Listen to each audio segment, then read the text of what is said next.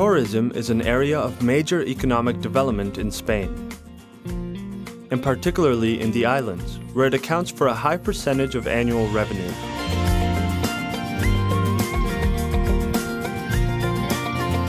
This is the case of Fuerteventura, in the Canary Islands, which welcomes around 2 million tourists every year.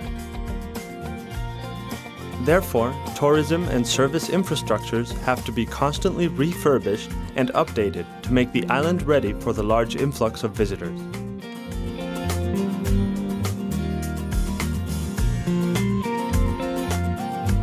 Passenger traffic by sea is on the rise, and the port of Puerto del Rosario in Fuerteventura needs to extend its facilities so that large sized cruise ships can berth there.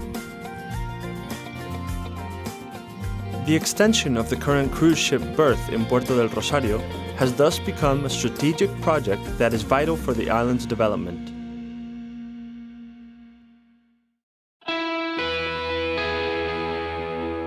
Acciona was awarded the project to extend the port's cruise ship berth as a result of its extensive experience building marine structures and its innovative capacity in terms of environmentally responsible and efficient solution.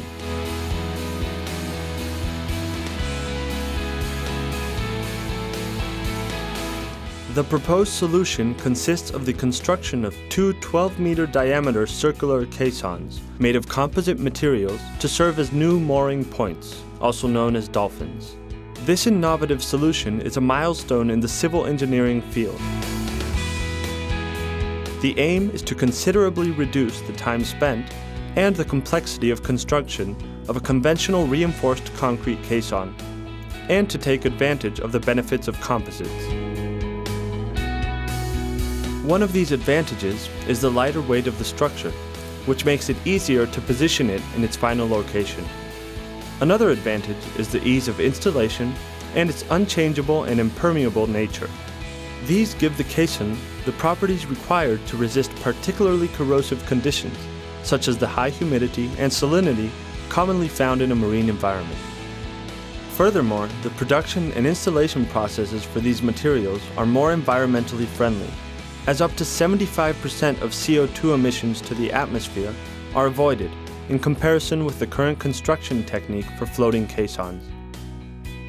The sections that make up the structure of the caisson are made in Jerez de la Frontera, in southern Spain, from fiberglass and epoxy resin. They are then assembled on site, avoiding the need for more complex machinery. The main elements of the structure are the core at the base, the base itself, the filling materials, and the walls of the caisson. Depending on its composition, the parts can be monolithic pieces of fiberglass with an organic matrix, or a sandwich type structure involving the adhesion of two surfaces to a low density, thick central core. After manufacture of all the parts of the caisson, they are assembled on site in Puerto del Rosario. The first step is the preparation of the area that will house the base of the caisson, where all the parts are welded together.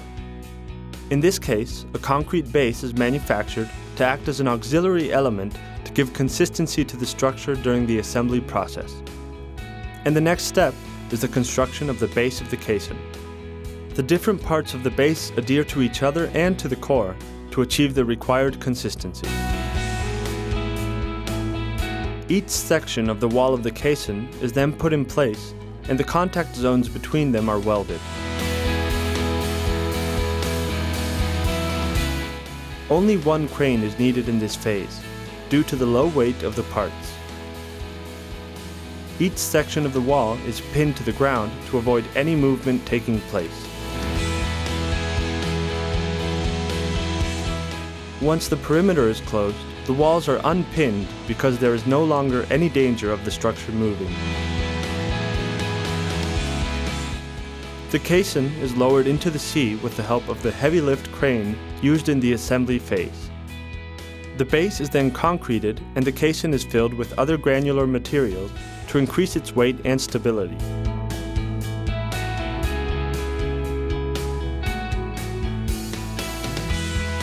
Once it is stabilized in the sea, the caisson is towed to its final position and anchored on a previously prepared bedding layer.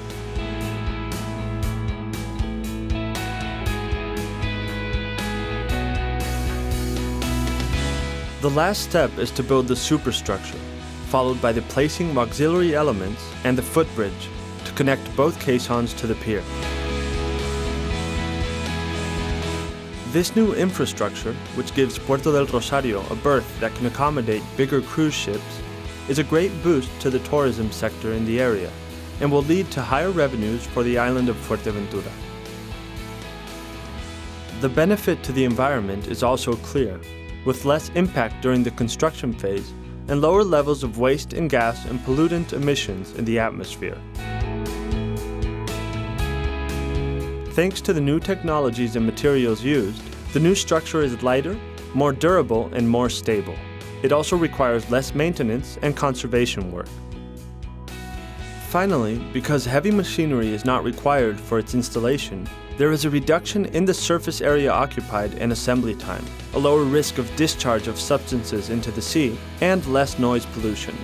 Once more, Acciona has provided an innovative solution that involves four times less CO2 emissions than the conventional construction technique. This means that the affected surface area on the seabed is 20% smaller, while minimizing the impact on marine ecosystems and species. Yet again, Acciona shows its commitment to sustainable development and respect for the environment.